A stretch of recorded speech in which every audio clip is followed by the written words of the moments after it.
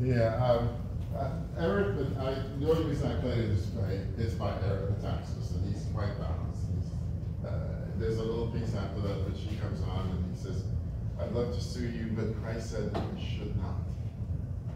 He said, I'd love to do things to you, but for the love of Christ, I can't. Which is true. Which is true. That's what we're supposed to be. Um, I, I think, I think he's in enough trouble, he doesn't need. Let me see, yeah, this is working. I think Yes. so. Yes, so let me, um, let me turn this off, because I think if I have both the speakers on, I'll probably get a, a weird echo.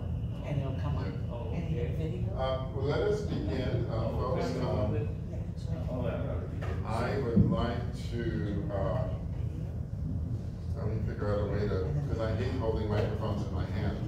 I'm used to having, um, little wireless pieces like that, so, um, hang on. Let me turn to page Well, think of it as being an ice cream cone. Yeah, I, I don't know if it still works. Does it still work as well? I think so. Well, I can hear it that way better.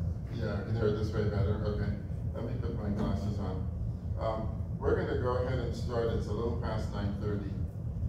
Um, the end of the prayer, and then, uh, I'll try and, um, uh, if you leave me about fifteen minutes before the end, uh, my two timekeepers, he's pointing at you. Well, you're younger and better looking, you know, more handsome. There's a clock.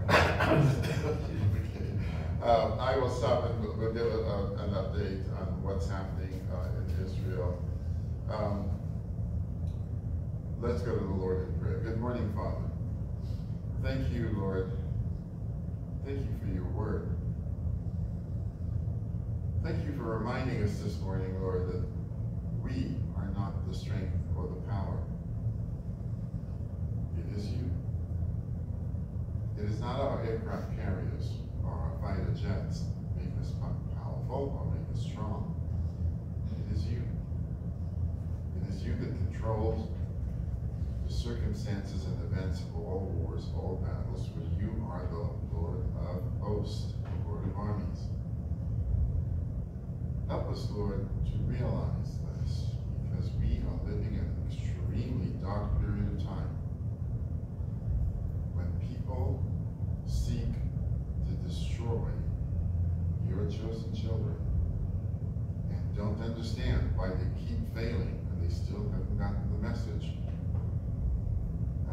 After 2,600 years, they still haven't gotten the message. Help us, Lord, to take your gospel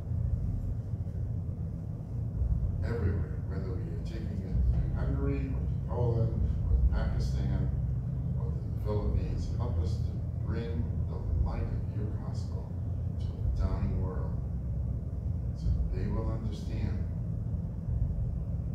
Jesus Christ is the main thing. We ask this in Jesus' name. Amen. Uh, Now, we're gonna start on, on page, uh, fifty-eight. Um, uh, and I didn't, as usual, I don't go into the, um, into the, the, the topical studies that are really, uh, from, um, Jon Courson. But, uh, I, I do want to point out a couple of things, uh, that he says, on why we shouldn't judge. And he gives a couple of examples of why we shouldn't judge, and the answer is very simple. Because the Bible says, judge not. The Bible says, judge not lest ye be condemned. And the actual, a better translation of that word would be condemn not lest you yourself be condemned. In other words, the very sin that you might be condemning somebody on is the very sin that you are guilty of. Most, uh, uh, most atheists, uh, that is their favorite verse, judge not lest you be judged, but they're, they're not translating it properly. Um, the people love to use that against Christians and says, you shouldn't judge me because the Bible says, judge not. It actually says, condemn not. Understand that in the Greek language, there's a vast difference between um, judging, finding someone innocent or guilty, or more accurately, guilty and not guilty, and on the other hand, sentencing them. So what, what, the word that's actually used there in the Greek means, do not sentence someone to hell, lest, now you get it? It doesn't mean don't judge people as in discern, because the Bible tells us we are to judge people by their fruit. I can judge Muhammad by his fruit. What is his fruit? Violence. Spoiled. You know, um, he's a teenage boy who got far too much power. He's violent. He's hypersexual. He lies and thinks it's okay to lie if you're doing it for Allah. So you can break all of the commandments of God. And they claim to uphold the Ten Commandments. You can break all of those commandments as long as you are convinced in your own mind that you're doing it for the betterment and the glory of Allah, to further the kingdom of Name Allah. of Allah. In the name of Allah. And that includes roasting babies in front of the parents. Uh-huh. As long as you're doing it for the sake of Allah. See, Allah can't do it himself, so he needs you to do it for him. Now you see what the problem is? You shall know them by their... You see, I don't have to fly an airplane into the World Trade Center because the God I serve, he could run an earthquake fault with his finger right underneath the, the two towers. They would collapse, and the geologist would be saying the next day in the news, we've just discovered a brand new fault that runs right through New York City. That's the God I serve. He doesn't need my help. He allows me to participate in the work that he's doing. It's like the kid, his dad builds the entire fence around the property, and his dad lets him pound in the last nail. And what does he go in the house and tell mom?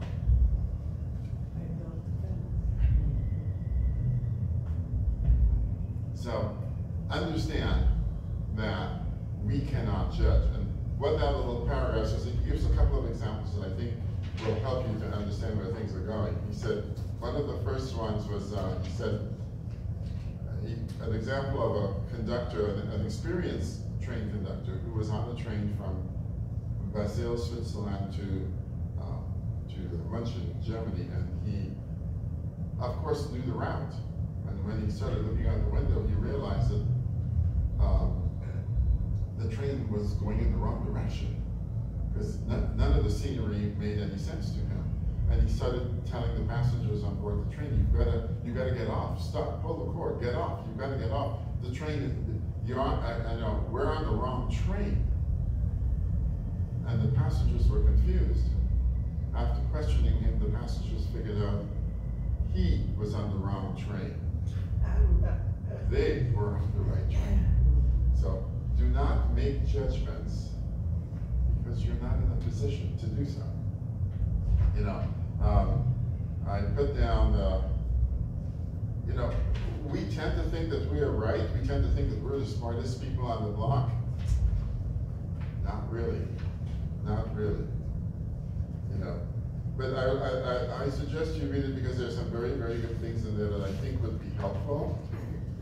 Um, the, the second example I thought would be worth your while reading is the one where he said, uh, it's about a preacher who was working on his sermon. He's on a train, it's a Saturday, he's working on his sermon for tomorrow.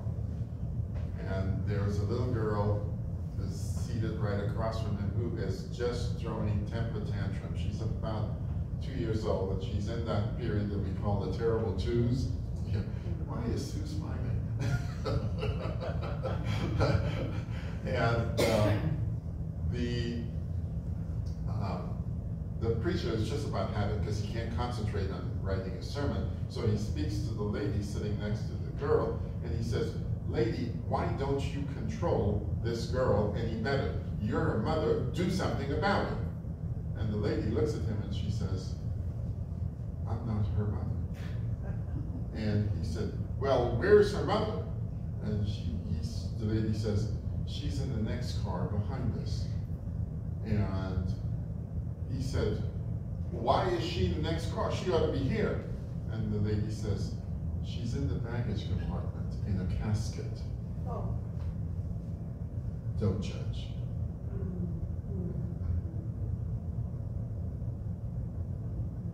If you were two years old and you lost your mom, you'd be doing the same thing.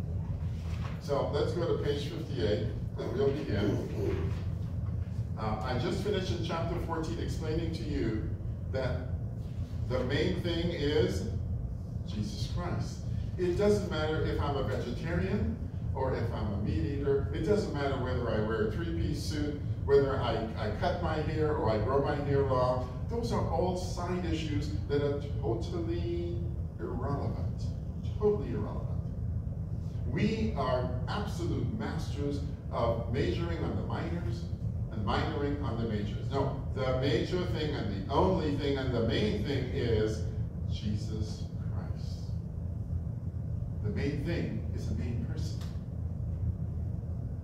Um, it's very, very important that you understand this because as we leave chapter 14 and we're now entering chapter 15, the fundamental issue that, this, this surprised me too. It's dealing with the question of the weak brother versus the stronger brother. And I thought that the weak brother was the guy who didn't have all the rules and regulations and, and special instructions and all that. I thought the strong one was the guy that had a million rules. You know, like the Pharisees, they had, I think, what, 680 something different uh, uh, commandments that they created out of the Ten Commandments. I thought that was the stronger guy. But what this is showing is that he's actually the weaker guy because he needs all those rules to keep him in line. The weaker guy is the guy who trusts in the Holy Spirit to guide him. And so he has little or no rules. It doesn't matter to him if you want to eat uh, filet mignon.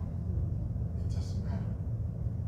And understanding that critical fact, will make sense as we go into the into the chapter, verse one. We then that are strong. Now remember, the person that's strong is the person who has less rules. And, you know, we then that are strong ought to bear the infirmities of the Pharisees, of the weak. That's what it says. And to not please ourselves. In other words, if we know that somebody's got a million rules, so they, they insist on having the Sabbath on Saturday, they insist on not eating meat and all of that, we are to bear their, their weaknesses. Now, we'll, I'll show you in, in, in a little while that the guy that is highly disciplined, the one who looks like he just took a bath in lemon juice, you know, his face is sour and twisted.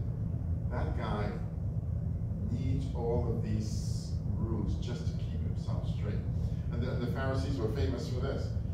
Look at verse 2. Let every one of us please his neighbor for his good to edification. What that means is that we are going to please our neighbor for the neighbor's good to edify the neighbor. Not to edify ourselves, but to edify or build up uh, our neighbor. For even Christ pleased not himself, but as it is written, the reproaches of them, that would be us, that reproached thee fell on me. All of us have sinners. Now, you run, you come into a, to a situation where you say, Jesus upset the Pharisees a great deal because he healed people on the Sabbath day. And to them, wait a minute, that's a violation of, of, of, of the rule. But you'll notice something.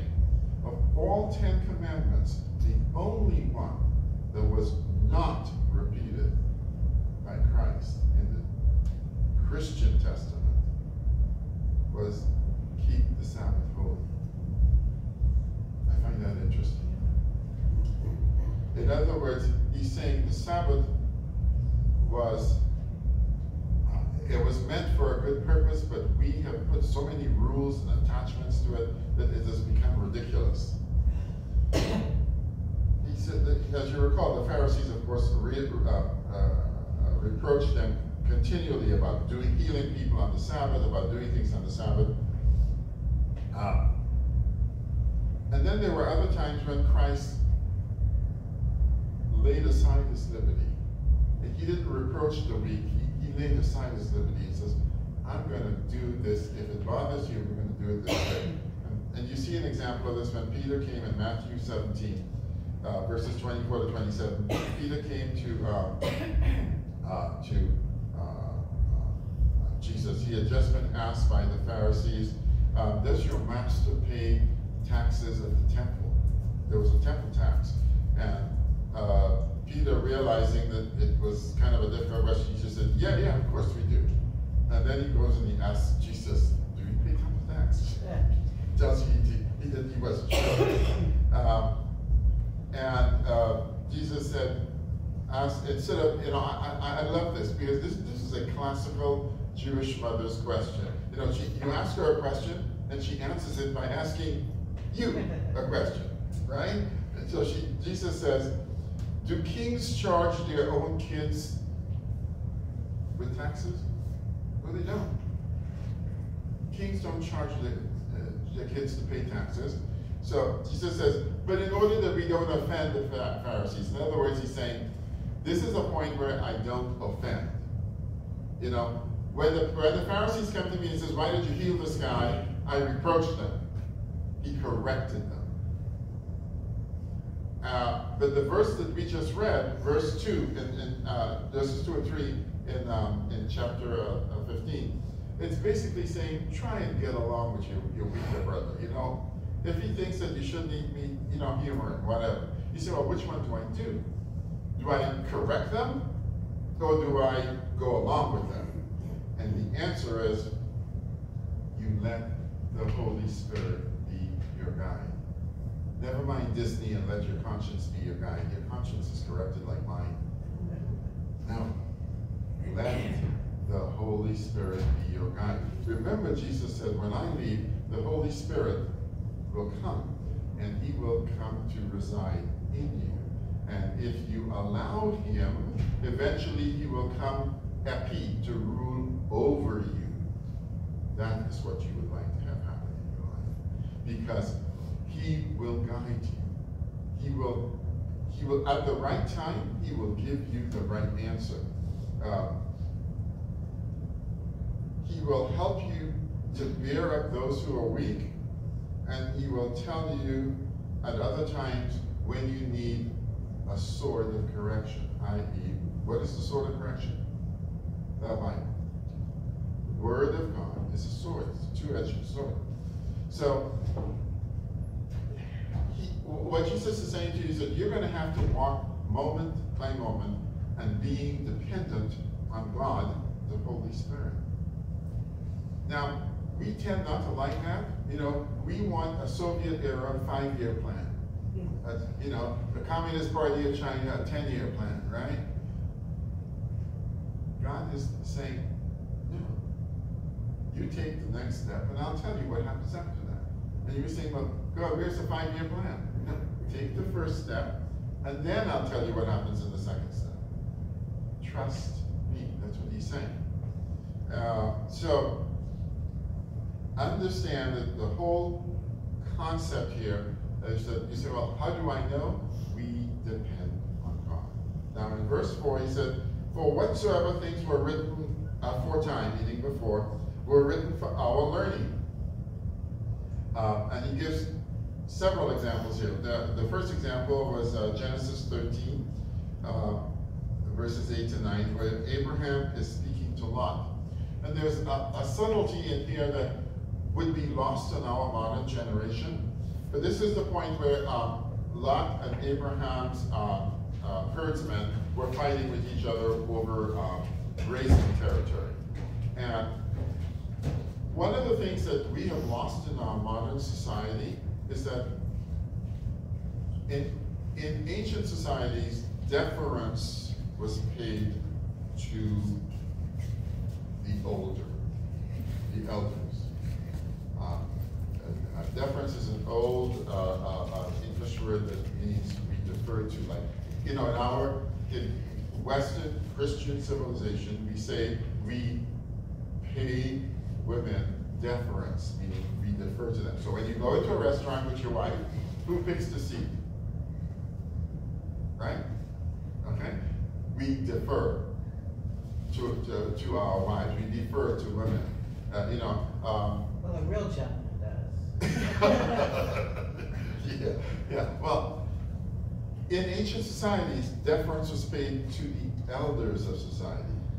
So in ancient societies, if a situation came up where an older gentleman and a younger gentleman have to decide on who gets what, or you know, the younger gentleman is expected to give the older gentleman first choice. That was expected. That's the way the society functioned. Of course, in our society, that was lost. And if you and if you think it was lost recently, go back to the the list of survivors of the mm-hmm. Titanic. Then the list of survivors is like overwhelmingly female names. Overwhelmingly female names. And when you saw a male name, it was a little boy. There are only a couple of grown men were on there. Astor, you know, these rich people, they, they, you know, uh, the Astors, in case you don't know who they were, they were extremely wealthy. They were filthy rich. Uh, um, uh, uh, New Yorkers, and then there was another, I forgot, uh, another wealthy New, New Yorker was there. But Is that the, where the hotel name comes from? Yes, they, those are the those are the same people. Yes. Uh-huh. Um, they um, th this is something that would be normal. In fact, if you go back in George Washington's writings, he wrote that if an older man and a younger man were having a dispute, the younger should defer to the older because that's the way society functioned. Of course, today, they would probably run over a little old lady with their motorcycle. Yeah. Yes. You Yes, know, no. a, about a week and a half ago, Yes. grandfather was pushing his young child, grandchild, Yes, I saw that video. and the guy That is ran up disgusting. and sucker punched him. Right. You did what? Sucker punched him, like, you know. Oh, oh, yeah, he- yeah. He punched him and the guy wasn't expecting, like he didn't know what was gonna happen next. Uh, So when Abraham said to Lot, uh, you know, we have a strife between us, Lot's position would have been to say, Abraham, you're the senior one here, you choose. That's not what happened. And you think this started in the nineteen sixties? No. What did Lot do? Lot says, just give me the green land over there. And you take whatever is left over. Abraham deferred to him because Lot was weaker. Are you getting it? The God spoke. Most likely God, the Holy Spirit, spoke to Abraham and said, let him have that. You know, um, the, the third example is Jonathan. Jonathan and David. Jonathan understood that God had chosen David to be the next king. That he, Jonathan, the son of Saul, would not be that king. And he accepted it. Is the Lord's will. In other words, if the Lord doesn't want me to do something and I go out against all odds manage to make it happen, it's not going to be a happy situation. It's not. Uh, the David and uh, in uh, another such situation occurs with David in uh, 1 Samuel 24, where David had an opportunity to kill Saul in a cave. And he chose not to because he said, if God wants Saul dead, he doesn't need my help. What did I tell you at the beginning of this? If my God wanted to destroy the Twin Towers, he's not going to say, Gordon, I could use you. No, no, it's not going to happen. No. Okay? Um, And the last one was, uh, when, uh, Moses chose. He chose not to live in the comfort as the son of Pharaoh. And which he easily would have become the next Pharaoh. He chose to forego that because God spoke. He knew that that was not the right choice. That was not the right choice at all. Uh, the rest of verse 4 For we, through patience and comfort of the scriptures, might have hope. In other words, I'm not worried about, say, well, good grief, uh, you know, this is going to, you know, uh, Trump might lose the next election. So what? God is not depending on Trump. You well, Biden might win the next election. Who cares? You notice I, I am never worried about uh, elections? No. You say, well, people might cheat. Let them cheat.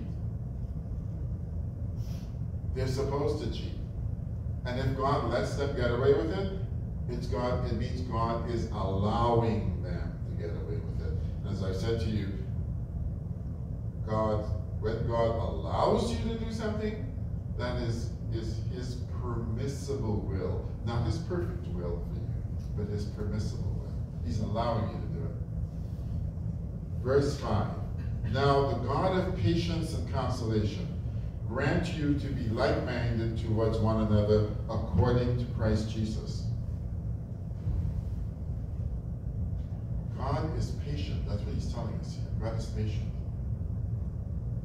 And I ask you the question in there, if you were God, how long would you put up with you? Not very long. I can tell you from my perspective, I would be called the queen of tarts. Off with their heads. She was a wonderful lady, actually. She was in my high school class. Just kidding. uh, verses uh, verses uh, six and seven. But you may with one mind and one mouth glorify God, even the Father of our Lord Jesus Christ. Wherefore receive ye one another as Christ also received us to the glory of God.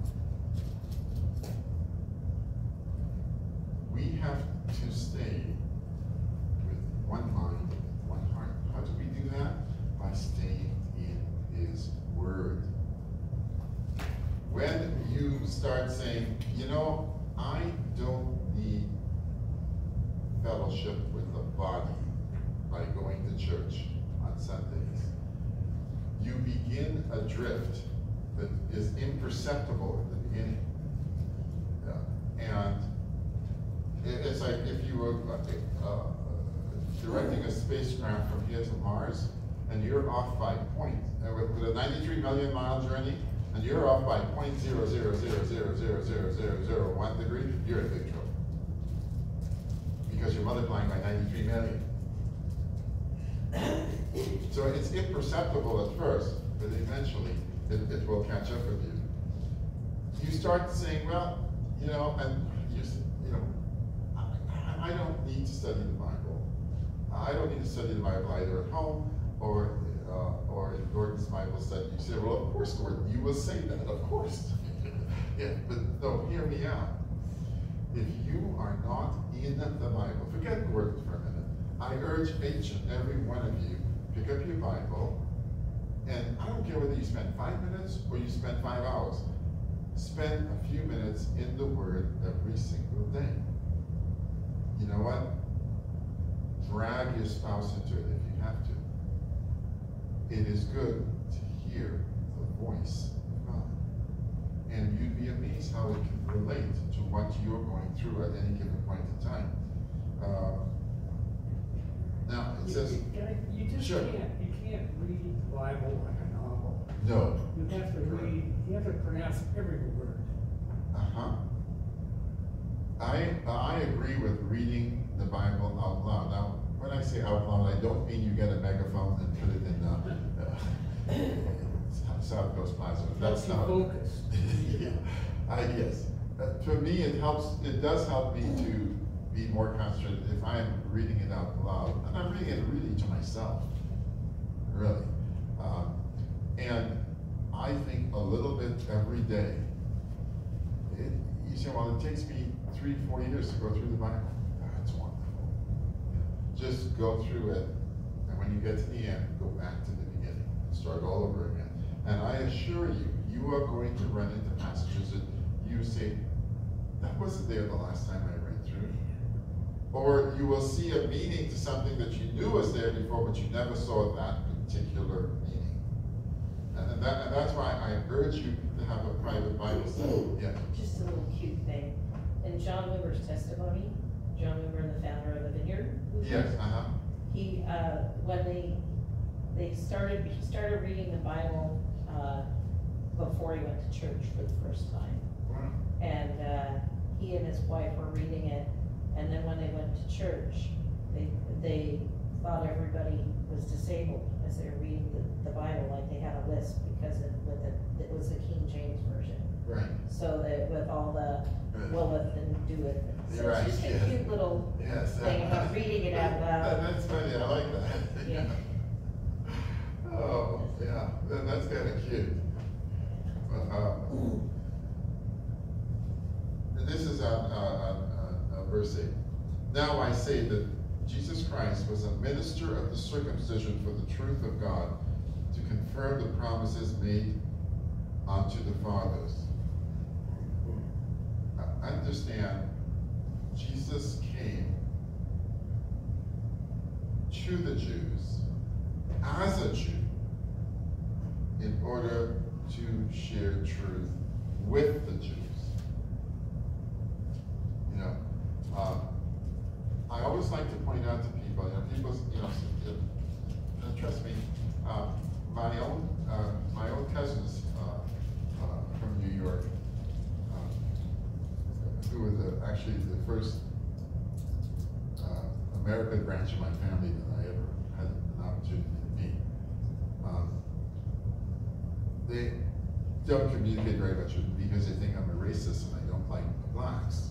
Gee, that sounds kind of weird but, because I don't subscribe to their views, uh, you know, their political views.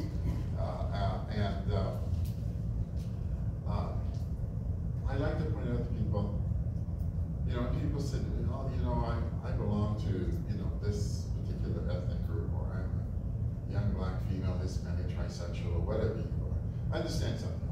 Before Christ came incarnated, not visited. Christ made many visitations to the earth before he came in the body of a human being, before his incarnation. There are only two ethnic groups in the world. There always have been and will be just two ethnic groups until the end of the millennium. Before Christ came in the incarnation, the two ethnic groups were Jews and Gentiles. That's it. You say, well, wait a minute, what about the French, the Germans, and, no, I said there were two ethnic groups, the Jews and the Gentiles. After he came for the first visit, as he came in human form, the incarnation, there were still two ethnic groups, except they were called the saved and the unsaved. I like how Dave Newman puts it. Either you're a saint or you ain't. That is, and you say, well, you know, does that apply to Jews? No, it applies to everybody. Either you have placed your faith in Jesus Christ or you haven't. And you're taking your chances. So, understand that there are only two ethnic groups. You say, well, what about the Japanese and the, forget that nonsense. It's not gonna count for anything. Not in front of Christ, it's not gonna count, it's not gonna mean anything. We were all saints. And Either you're a saint and you've submitted your life to Christ, or you're not. It's really that simple. Verse nine, that the Gentiles might glorify God for his mercy. The Gentiles desperately needed mercy. Desperately needed mercy. As it is written, for this cause I will confess thee among the Gentiles, and sing unto thy name. This is a quotation from Psalm 18, verse 49.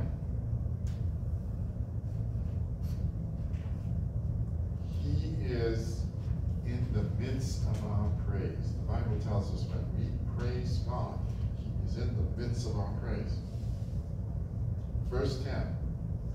And again, He said, Rejoice, you Gentiles, with His people, to Jews. And, and again, praise the Lord, all you Gentiles, and laud Him, meaning honor Him. That's an Old English word that means honor. All you people.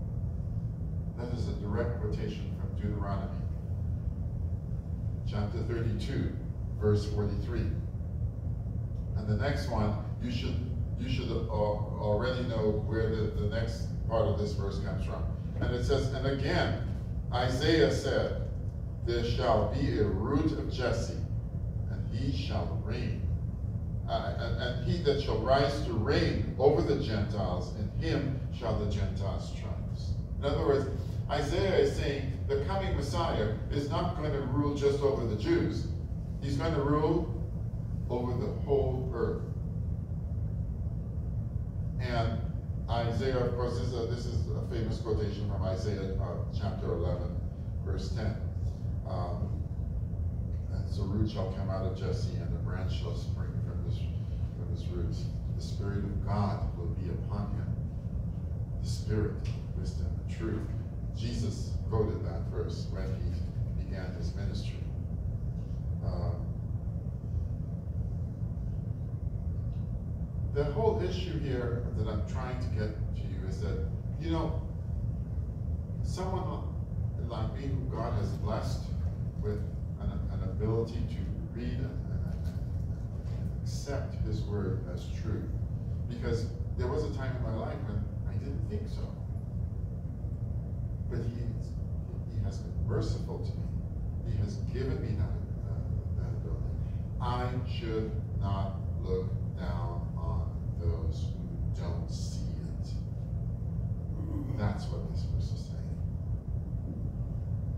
I need to be patient with those that don't see it. I don't, uh, you know, and that's why you notice I focus on the Word and on the Bible. I, you've heard me say, I don't like communism, not for political reasons. I don't care about the politics. I don't like communism because it is godless. In communism, the state is God. The state provides everything. There's no room for a God. That's why communism likes the Big Bang Theory and evolution. So my reasons are not political, they are biblical, they are godless. Thou shalt have no other gods, including the state, before me. And so I, it comes back to the word. I need to be patient. So I ran into a some young kid who, um, you know, Mark my, my, own brother, a professor.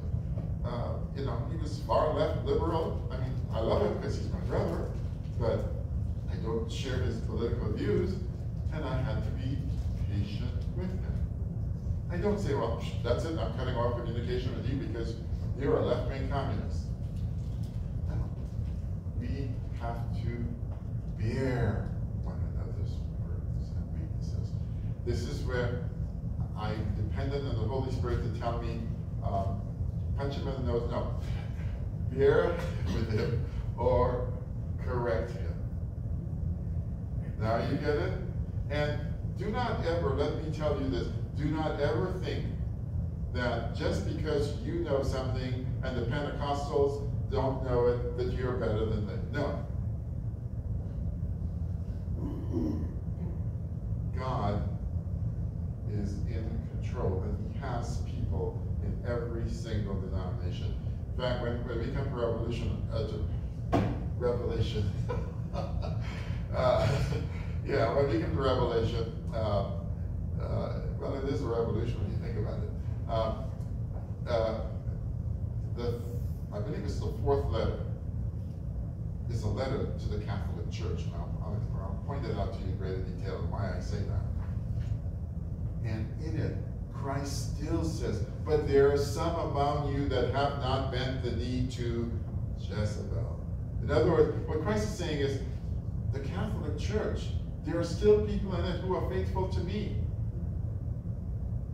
The charismatic uh, Catholic movement is exactly that. People who say, forget all this saint, saint nonsense, Saint Mary, Saint Anthony, and all that. It's just one thing called the main thing, which is Jesus Christ. Now you're getting it? So, don't feel you're better than somebody else because you understand something. Bear one another's burdens. Oh, how rude. Okay, all right, we're gonna stop at the end of verse, uh, uh, verse twelve. Uh, Is bear one another's burdens? uh, Bear one another's was burdens, that- I mean, if the guy is, is saying, well, you know, I'm a vegetarian because I believe vegetarians are closer to God, and you go out with, you know, that person, you know, it, it- just, just eat whatever's put in front of you. I thought bear one another's, was that, was that right there in Romans? Or Um, that that- is, uh, let me. That was like Galatians. I think it's, it, it's in an earlier chapter, I'm pretty certain it is. Let me go back. I'm, I'm sorry, I just, It is in an earlier chapter, I would have to go back and, and look at it, but the answer to your question is, is it in Romans? Yes. It's not up to you to change another person, it's up to God. Correct. Correct. It- Because, you know, you look at That's it, your job. the- we could look at the Pharisees and says, they're just uptight and they, they took a bath in lemon juice. And the Pharisees could look at us and say, you guys, I wouldn't even have allow you guys to touch the hem of my garment. the one I was thinking of was Galatians. It, it's The one Galatians. I, the one I thought of was in Galatians. Uh, okay. I, I could probably research that for you let you know. Um, yeah, so, uh, let, let's stop here at, uh, at the end of chapter, uh, verse, uh, verse twelve. And let's look into, um, you know, what is the situation going, what's going on in Israel? Um, the, uh, the, uh, Israeli army, as you know, this past week began pumping salt water from the Mediterranean Ocean into the tunnels. Uh, at uh, a phenomenal rate, something like six thousand cubes, uh, cubic feet per hour. That is a phenomenal amount of water. If you think about what six thousand feet this way, this way, and that way is, it's a lot of water. And, um, that has resulted in, instead of like, you know, before they would, in hand-to-hand combat, they would capture maybe ten or twelve terrorists, um, a day. What has happened once it started flooding the tunnels was literally, when you flood a tunnel, what happens to the rats? Or they come out. They come out through the, the, the shafts, where, uh, with their hands up, and, uh, they have gone to a situation where hundreds of terrorists are surrendering every day. Because your option is to stay in the tunnel and drown, or, you know, since you're not sure if those seventy virgins are gonna be really virgins, um, you know, get out of the tunnel. Um, so they, they are capturing literally, I think, uh, as of yesterday, the count of people that have been, um, captured as a result of the flooding of the tunnels. they're flushed over- out. They, they were flushed out, yeah, it's over a thousand terrorists have been captured. And you can see the difference in the numbers, like before, they, they didn't even bother to show you a video of the ten or twelve they captured each day. When you look at the video from the last few days, they're about, the, the terrorists are lined up in their underwear. They always do that, huh? Yeah, there's a reason for that.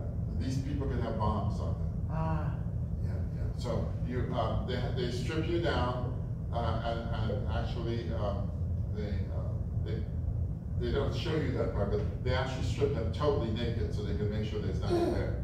And then they, uh, they handcuff them behind their backs and, uh, have them sit down. So there's, or, there's like four in a row, they're four deep, and it goes on block after city block after city block after city. Think about how many people that is. That's a lot of people. So, in that sense, they're, they're, they're making some progress. Uh, Caroline Glick in her, um, in her article, uh, you, you know who she I is? just watched her, she interviewed the person that prepared the bodies for the dead, Yes, the woman.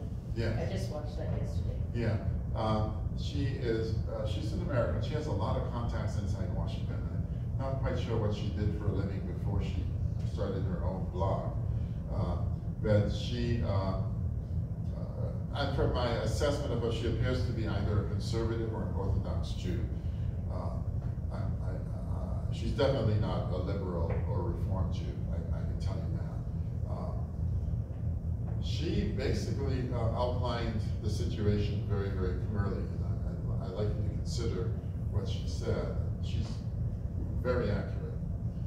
She said her sources inside the State Department tell her that at the, not his last trip, but the second to last trip to Israel, Antony Blinken, who is really um, a disciple of Barack Obama, in case you're not aware of who he is. He, uh, this is really the third presidency of, of Barack Obama. It's Obama 3.0.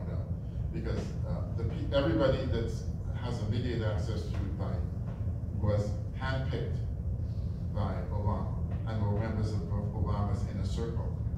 And Obama still remains the only president of the United States who did not leave Washington, D.C. after his term was finished.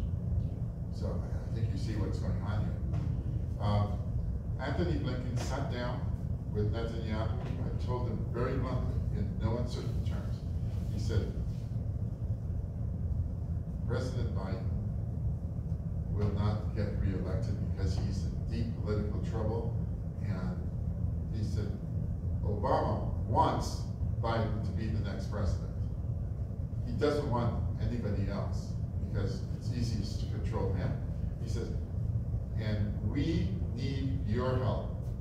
He said, we are in danger of losing the Palestinian vote, in, the Muslim vote in America, because they're, they're saying they're not going to vote unless we get a ceasefire. We've got to have a ceasefire, period. And he basically threatened uh, Netanyahu with cutting off arms shipments. So, uh, on the surface, in front of the news cameras, uh, everybody is, right. But behind the scenes, you need to see what's in his hand behind the back. Uh, and so, right now there is a problem in that um, Netanyahu was forced to accept that four-day uh, siege. The second problem is that Netanyahu, not to put all the blame on Biden, uh, Netanyahu had uh, pressure from within. Uh, all of the people who, who, all of the areas that were hit by the terrorists on October 7th and all of the people who were killed were far left-wing liberals. The area that they came from, all those people there vote very, very liberal. Many of them are atheists. And the opposition, which is joined with uh, Netanyahu in a unified government, 100% of the, uh, of, of the votes are, are now on Netanyahu's side. They want to get any abductees back.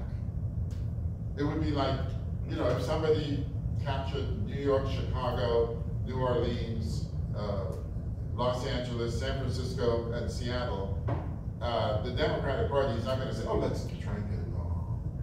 No, I don't think so. They would want to get those people free and get them to the voting booth. And so, um, the opposition basically is saying, look, you know, people are demanding we get some of the abductees back. Netanyahu's original position was, I am going to,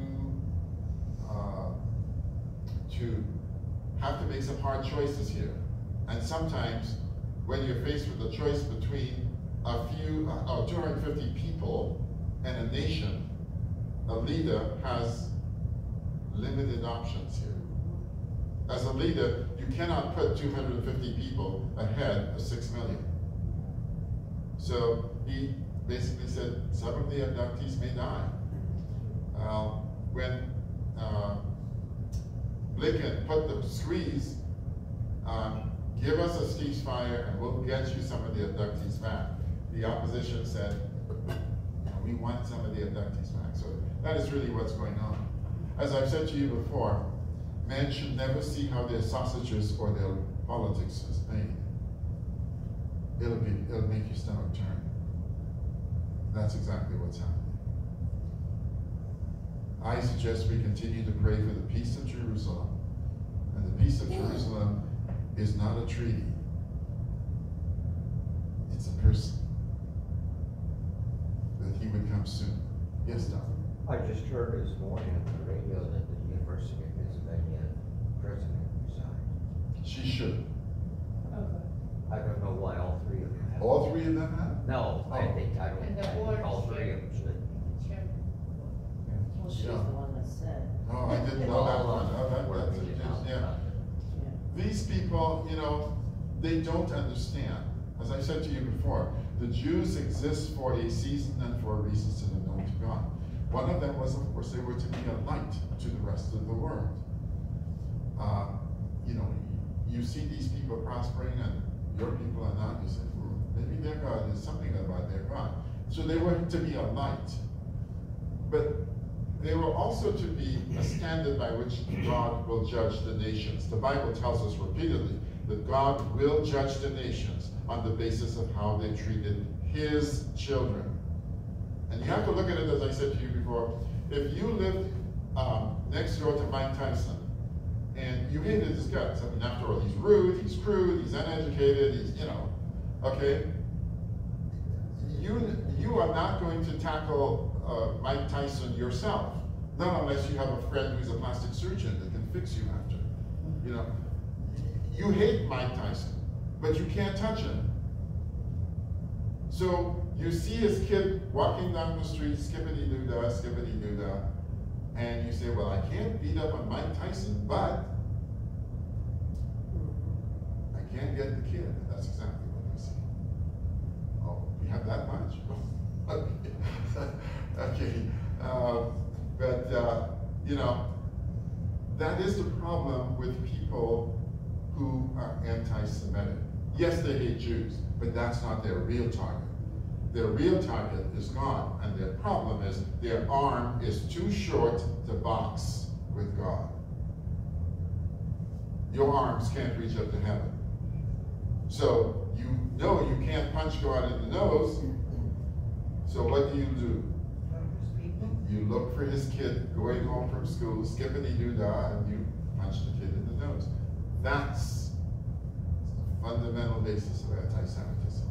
Yes, they hate Jews, but they hate them because God has chosen them.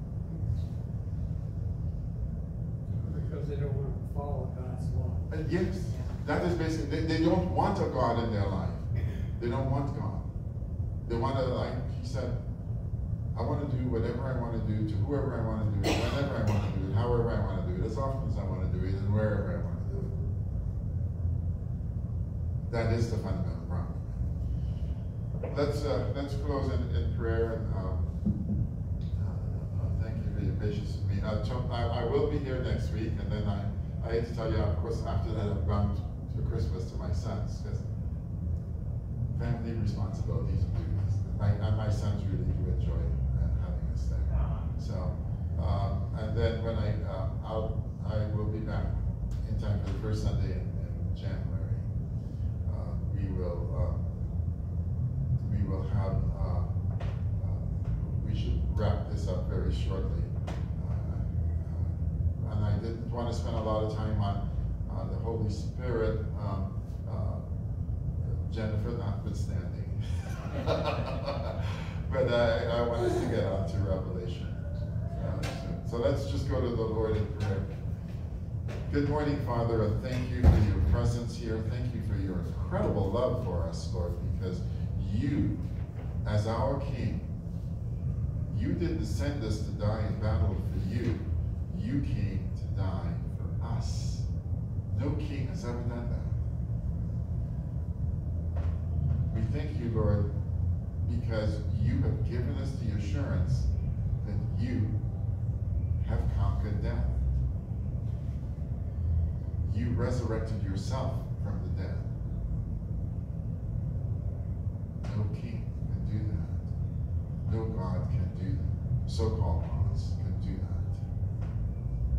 Only the living God of Israel can do that. Help us, Lord, to take the incredibly beautiful message of your gospel to a dark, dying world. We live in extremely dark times where people really hate God and don't want to have anything to do with him. So they attack his people because they can't attack him. Help us, Lord, to reach out to them with love, with truth, that they may want to know more about this God that we serve with such joy. We ask this in Jesus' name. Amen. Can I make a little proposal? Yes? Uh-huh. But just, uh, you in particular, but I thought maybe Victor might be interested in the Uh-huh. idea. Is since everybody's so interested in going, getting on to Revelation, Yes? why don't we skip the Holy Spirit and put that after? Oh, okay. Um, That's just a, my little proposal. oh, okay. Uh, we we can do that, yeah, uh, we